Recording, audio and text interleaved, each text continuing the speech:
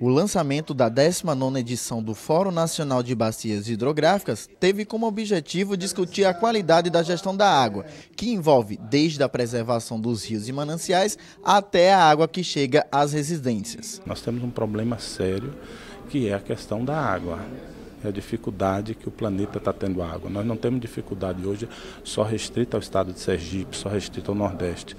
Problema hídrico é um problema mundial e que é para que a gente garanta a, a, a segurança hídrica, para que a gente garanta a qualidade de vida, é necessário que a gente pense na boa gestão eficiente dos recursos hídricos.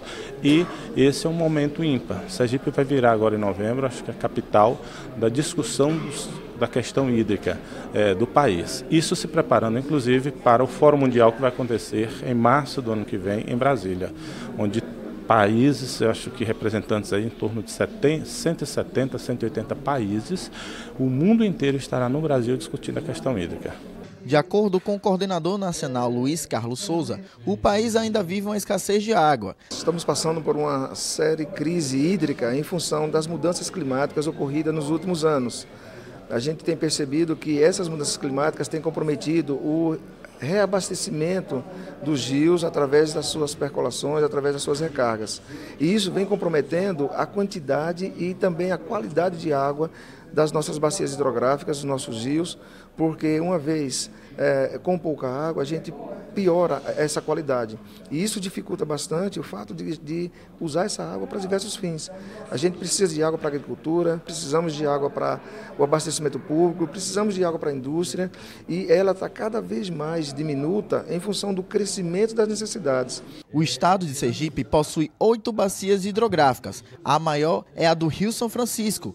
Para o presidente do fórum, Anivaldo Miranda, a realidade enfrentada pela bacia hidrográfica do São Francisco ainda é complicada. Estamos no quinto ano de uma seca prolongada, com todos os seus impactos ambientais, econômicos, o que implica é, em um processo de difícil administração dessa crise, mas nos impõe também todo, toda uma reflexão de que chegou a hora, finalmente, de mudar a matriz energética, a matriz agrícola de São Francisco e estabelecer o Pacto das Águas que o comitê está propondo aos governos dos estados da bacia e ao governo federal.